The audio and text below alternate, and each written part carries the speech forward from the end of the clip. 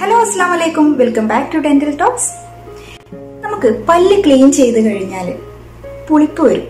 അല്ലെങ്കിൽ പല്ലിന്റെ ഇനാമൽ നഷ്ടപ്പെടും. ഇതൊക്കെ പലരുടെയും മനസ്സിലുള്ള ഒരു ധാരണയാണ്. ശരിക്കും അങ്ങനെയുണ്ടോ?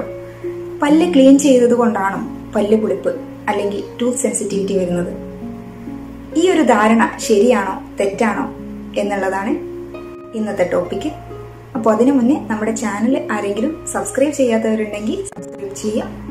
നിങ്ങൾക്ക് ഈ വീഡിയോ യൂസ്ഫുൾ ആണെങ്കിൽ യൂസ്ഫുൾ ആയിട്ട് തോന്നുന്നുണ്ടെങ്കിൽ ലൈക്ക് ചെയ്യുക ഷെയർ ചെയ്യുക.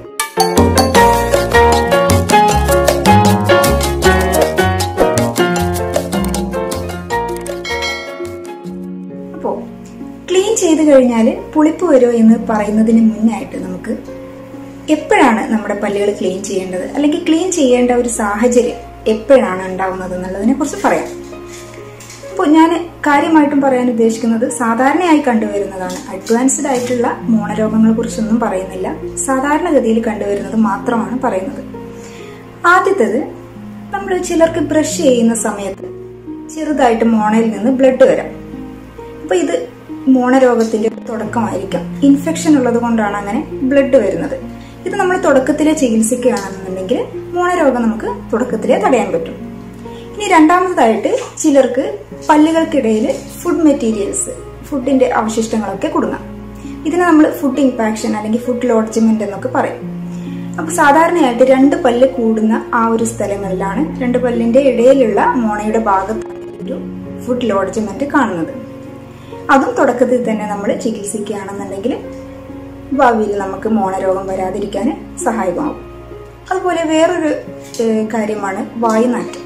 അപ്പോൾ അത് കണ്ടുവരുമ്പോഴും നമ്മൾ ക്ലീൻ ചെയ്യാനായിട്ട് പോകുന്നു. പിന്നെ മറ്റൊന്നാണ് നമുക്ക് പല്ലിൽ കേടുകളും ക്യാവിറ്റീസും ഒന്നും ഇല്ലാതെ നമുക്ക് വെറുതെ പല്ലുവേദന വരും. നമ്മൾ നോക്കുമ്പോൾ നമ്മൾ പല്ലൊക്കെ ഹെൽത്തി ആയിരിക്കും പക്ഷെ വേദനയുണ്ടാവും. ഇതും മോണരോഗത്തിന്റെ ഒരു തുടക്കമാണ്. മറ്റ് പല കാരണങ്ങൾ കൊണ്ടും ഇങ്ങനെ വരാമെങ്കിലും നമ്മളൊരു ഡെന്റിസ്റ്റിന്റെ അടുത്ത് പോകുമ്പോൾ മനസ്സിലാക്കാൻ പറ്റും ഇത് മോണരോഗത്തിന്റെ തുടക്കമാണെന്ന്. അങ്ങനെയാണെന്നുണ്ടെങ്കിൽ നമുക്ക് ക്ലീനിങ്ങിലൂടെ ഒരു ഡീപ്പ് ക്ലീനിങ്ങിലൂടെ വരാൻ പോകുന്ന അല്ലെങ്കിൽ മോണരോഗത്തെ നമുക്ക് തടയാൻ പറ്റും. അവസാനമായിട്ട് എല്ലാവർക്കും അറിയുന്ന ഒരു കാര്യം തന്നെ. വായിൽ നമ്മൾ അഴുക്ക് കാണപ്പെടും അഴുക്ക് കാണുമ്പോൾ നമ്മൾ ഡെന്റിസ്റ്റിന്റെ അടുത്ത് പോയിട്ട് അത് ക്ലീൻ ചെയ്യണം എന്നുള്ളൊരു തോന്നൽ നമുക്ക് തന്നെ ഉണ്ടാവും. അപ്പോൾ ഇതൊക്കെയാണ് സാധാരണഗതിയിൽ പല്ല് ക്ലീൻ ചെയ്യേണ്ട ഒരു സിറ്റുവേഷൻ ഉണ്ടാക്കുന്ന കാരണങ്ങൾ. ഇനി നമ്മൾ അവസാനം പറഞ്ഞു നിർത്തിയ ആ ഒരു പല്ലിലെ അഴുക്കുകളെ കുറിച്ച് പറയാം. ആദ്യത്തേത് നമ്മൾ സാധാരണ കണ്ടുവരുന്ന കറകൾ അതായത് ചായ കാപ്പി പോലുള്ള സ്ഥിരമായിട്ട് ഉപയോഗിക്കുന്നവരിൽ അതുപോലെ സ്ഥിരമായിട്ട് വല്ല മരുന്നും കഴിക്കുന്നവരിൽ അല്ലെങ്കിൽ പുക വലിക്കുന്നവരിൽ ഇവരിലൊക്കെ കാണപ്പെടുന്ന കറകൾ രണ്ടാമത്തെ തരം എന്ന് പറഞ്ഞാൽ കുറച്ചുകൂടെ കട്ടി കൂടിയത്. അതായത് ഒരുപാട് കാലം കൊണ്ട് വേസ്റ്റ് ഫുഡിന്റെ വേസ്റ്റുകളൊക്കെ അടിഞ്ഞുകൂടി അടിഞ്ഞുകൂടി കുറച്ച് കട്ടി കൂടിയ തരത്തിലുള്ള ഡിപ്പോസിറ്റ്സുകൾ അല്ലെങ്കിൽ അഴുക്കുകൾ ഇതിനെ നമ്മൾ ഈ ഒരു കട്ടി കൂടിയ ഡിപ്പോസിറ്റ് ഡിപ്പോസിറ്റ്സിനെ നമ്മൾ കാൽക്കുലസ് എന്നാണ് പറയുന്നത്. ഈ ഒരു കാൽക്കുലസ് ആണ് നമ്മുടെ വില്ല്. ഈ കാൽക്കുലസ് എങ്ങനെയാണ് ഉണ്ടാവുന്നത്? ഭക്ഷണത്തിന്റെ അവശിഷ്ടങ്ങളൊക്കെ കുടുങ്ങിക്കിടന്നിട്ട് അതിൽ ഈ ബാക്ടീരിയ പ്രവർത്തിച്ചിട്ട് പ്ലാക്ക് എന്ന് പറഞ്ഞൊരു സബ്സ്റ്റൻസ് ഉണ്ടാകുന്നുണ്ട് ഇത് ഒരുപാട് കാലം കഴിഞ്ഞിങ്ങനെ കട്ടികൂടി കട്ടികൂടി വരുന്നതാണ് ഈ കാൽക്കുലസ് ഇനി ഈ കാൽക്കുലസ് എവിടെയാണ് കാണുന്നത്? പല്ലിന്റെ ഏത് ഭാഗത്താണ് ഇത് വരാൻ കൂടുതൽ സാധ്യത? പല്ലിനെ നമ്മൾ ക്ലീൻ ചെയ്തിട്ടില്ലെങ്കിൽ നമ്മൾ ബ്രഷ് എത്താത്ത ഭാഗങ്ങളിലൊക്കെ വരാൻ സാധ്യതയുണ്ട്. പക്ഷേ ഏറ്റവും കൂടുതലായിട്ട് കാണുന്നത് നമ്മുടെ താഴെ വരിയിലെ പല്ലിലെ പുറകുവശത്ത് അതായത് മുൻവശത്തെ പല്ലിന്റെ പുറകുവശത്താണ് ഏറ്റവും കൂടുതലായിട്ട് കാണുന്നത്. ഇത് നമ്മൾ ക്ലീൻ ചെയ്യാതെ നമ്മൾ ഇത് ശ്രദ്ധിക്കാതെ ഇരുന്നിട്ട് ഒരുപാട് കാലം കഴിയുമ്പോൾ ഇതിങ്ങനെ ഡെപ്പോസിറ്റ് ആയി ഡെപ്പോസിറ്റ് ആയി വലുതായിട്ട് അത് പൊടിഞ്ഞു വരാൻ തുടങ്ങും. പൊടിഞ്ഞു വരാൻ തുടങ്ങുമ്പോൾ ആ പൊടിഞ്ഞ സ്ഥലത്ത് പൊട്ടിയ സ്ഥലത്ത് നമ്മളെ നാവ് കൊണ്ടിട്ട് മുറിയാൻ തുടങ്ങും. അതുപോലെ നമ്മൾ പല്ലാണ് ഈ പൊടിഞ്ഞു പോകുന്നതെന്ന് വിചാരിക്കും. പലരും ഈ ഒരു അവസ്ഥ എത്തുമ്പോഴാണ് ഡെന്റിസ്റ്റിനെ പോയി കാണുന്നത്. എന്റെ പല്ല് പൊടിഞ്ഞു പോകുന്ന ഡോക്ടറെ എന്നും പറഞ്ഞിട്ടാണ് മിക്കവാറും വരാറ്. ഇനി ഈ കാൽക്കുലസും പല്ലിന്റെ പുളിപ്പും തമ്മിൽ എന്താ ബന്ധം? ബട്ട് ഡയറക്റ്റ് ആയിട്ട് ബന്ധമൊന്നുമില്ല. പക്ഷെ ക്ലീനിങ്ങിന് ശേഷമുള്ള പുളിപ്പിനെ കുറിച്ച് പറയുമ്പോൾ കാൽക്കുലസിനെ കുറിച്ച് പറയാതിരിക്കാൻ വയ്യ. ഞാൻ മുൻപ് ഒരു വീഡിയോയിൽ പറഞ്ഞിട്ടുണ്ട് നമ്മുടെ പല്ലിന് മൂന്ന് ആവരണങ്ങളുണ്ട്. അത് ഏറ്റവും പുറമെ കാണുന്നത് ഇനാമൽ അതിന്റെ അകത്താണ് ഡെന്റിൻ ഏറ്റവും ഉള്ളിലായിട്ട് പൾപ്പ്. ഈ ഒരു ഡെന്റിനാണ് നമ്മുടെ പുളിപ്പിന്റെ കേന്ദ്രം. പക്ഷേ സാധാരണഗതിയിൽ ഒരു ഹെൽത്തി ആയിട്ടുള്ള ഒരു പല്ലുള്ള ആളിൽ എന്തുകൊണ്ടാണ് പുളിപ്പ് വരാത്തത്?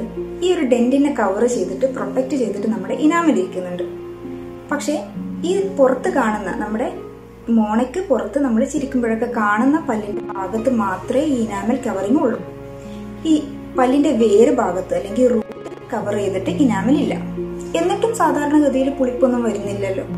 അതെന്താ നല്ല ഒരു ടൈറ്റായിട്ട് നമ്മളെ റൂട്ടിനെ പല്ലിന്റെ വേരിനെ നല്ല ടൈറ്റായിട്ട് കവർ ചെയ്തുകൊണ്ട് പ്രൊട്ടക്ട് ചെയ്തുകൊണ്ട് നമ്മുടെ മോണ ഇരിക്കുന്നുണ്ട്. അതുകൊണ്ടാണ് നമുക്ക് സാധാരണഗതിയിൽ പുളിപ്പൊന്നും അനുഭവപ്പെടാത്തത്. അപ്പോൾ ഇങ്ങനെ നമ്മുടെ പല്ലിന്റെ വേരിനെ കവർ ചെയ്തുകൊണ്ട് നല്ല ടൈറ്റായിട്ട് നമ്മുടെ ഗം ഇരിക്കുന്നത് കൊണ്ട് തന്നെ അതിന്റെ അകത്തേക്ക് സാധാരണഗതിയിൽ ഭക്ഷണമൊന്നും കിടക്കാൻ സാധ്യതയില്ല. പക്ഷെ മോണരോഗം വരാൻ തുടങ്ങിയാൽ നമ്മുടെ മോണയുടെ ആരോഗ്യം നഷ്ടപ്പെട്ട് ഇത് പുറകിലോട്ട് കയറാൻ തുടങ്ങും. റൂട്ടിന്റെ ഭാഗത്ത് നിന്ന് മോണ പുറകിലോട്ട് കയറാൻ തുടങ്ങും. ചിലർ പറയുന്നത് കേട്ടിട്ടില്ല നിങ്ങൾ പല്ലിന് നീളം കൂടി പല്ല് നീണ്ടു വരുന്നതൊക്കെ. ശരിക്കും പല്ല് നീണ്ടു വരുന്നതല്ല. ആ വേരിന് പുറമേയുള്ള മോണ മുകളിലോട്ട് കയറി പോകുമ്പോൾ നമ്മുടെ പല്ലിന്റെ കൂടുതൽ ഭാഗം പുറത്ത് കാണും. അപ്പൊ നമുക്കത് പല്ല് നീണ്ടതായിട്ട് തോന്നുന്നതാണ്. ഇങ്ങനെ ഈ മോണ പുറകിലോട്ട് വരയുന്ന പുറകോട്ട് പോകുന്ന ആ ഒരു പ്രോസസ്സിനെ പറയുന്നതാണ് ജിൻജൈവൽ റിസഷൻ അല്ലെങ്കിൽ ഗം റിസഷൻ എന്നൊക്കെ. ഇനി എങ്ങനെയാണ് ഈ ഒരു മോണ ബാക്കിലോട്ട് പോകുന്നത്? എങ്ങനെയാണെന്ന് നോക്കാം. അപ്പോൾ രണ്ട് പല്ലുകളുടെ ഇടയിലുള്ള മോണയുടെ ഭാഗം. ആ ഒരു ഭാഗത്ത് നമ്മൾ ഫുഡൊക്കെ കുടുങ്ങി ഫുഡൊക്കെ കുടുങ്ങിയിട്ട് നമ്മൾ നേരം വണ്ണം വൃത്തിയാക്കിയില്ലെങ്കിൽ അത് അവിടെ ഇങ്ങനെ അടിഞ്ഞു കൂടിയിട്ട് അതിൽ ബാക്ടീരിയ പ്രവർത്തിച്ചിട്ട് ആ ഒരു റീജിയന്റെ ആ ഒരു സ്ഥലത്ത് ഇൻഫെക്ഷൻ ഉണ്ടാക്കും. നമ്മൾ പ്രോപ്പറായിട്ട് പിന്നീട് വൃത്തിയാക്കിയിട്ടില്ല എന്നുണ്ടെങ്കിൽ ആ ഇൻഫെക്ഷൻ പിന്നെ മറ്റുള്ള ഭാഗങ്ങളിലേക്കും പടരാൻ കാരണമാവും. അങ്ങനെ ആ സ്ഥലങ്ങളിലുള്ള മോണയ്ക്കൊക്കെ അവിടുത്തെ കോശങ്ങൾക്ക് നാശം സംഭവിക്കും. അപ്പോൾ ഇൻഫെക്ഷൻ ഉള്ള ഭാഗത്ത് മോണകൾ ഇങ്ങനെ വീക്കായി മോണ ഇങ്ങനെ വീക്കായിട്ട് ലൂസായി വരുമ്പോൾ അതിന്റെ അകത്തേക്ക് ഫുഡിന് ഫുഡിന്റെ വേസ്റ്റുകൾക്ക് ഫുഡിന് കടക്കാൻ എളുപ്പമായി. അങ്ങനെ ക്രമേണ ഫുഡ് കടന്ന് ബാക്ടീരിയകളൊക്കെ കൂടെ പ്രവർത്തിച്ച് പ്ലാക്ക് ഫോം ചെയ്തു. പിന്നെ നേരത്തെ പറഞ്ഞ കാൽക്കുലസ് ഫോം ചെയ്തു. അപ്പോൾ ഈ ഒരു കാൽക്കുലസ് ക്ലീൻ ചെയ്ത് കളയാൻ വേണ്ടിയിട്ടാണ് നമ്മൾ ഡെന്റിസ്റ്റിന്റെ അടുത്തോട്ട് പോകുന്നത്.